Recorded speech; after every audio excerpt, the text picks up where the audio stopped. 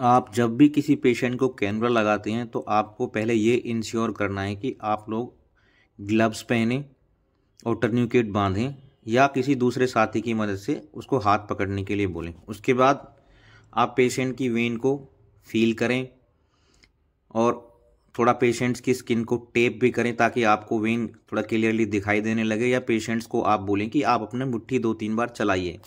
ताकि ऐसा करने से उसकी वेन्स जो नीचे की तरफ़ दबी हुई हैं, वो बाहर निकल के आएँ। लेकिन ये जो भी करना है, बिल्कुल प्रॉपर स्टेरिलिटी मेंटेन करके रखना है।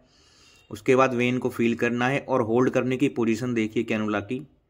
और 25 डिग्री के एंगल पे प्रिक कीजिए और कैनुला को इंसर्ट कर दीजिए।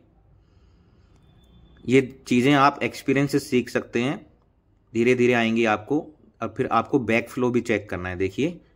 अब इसमें बैक फ्लो आएगा, तब आपको स्टॉपर लगाना है। इसके बाद देन आपको इसे एनएस से फ्लश भी करना है। एनएस से फ्लश करने से क्या होता है कि आपका ब्लड जो है इसके अंदर क्लॉट नहीं होगा और कैनुला चलता रहेगा। इसके बाद आप प्रॉपर तरीके से अपना टाइनाप्लास्ट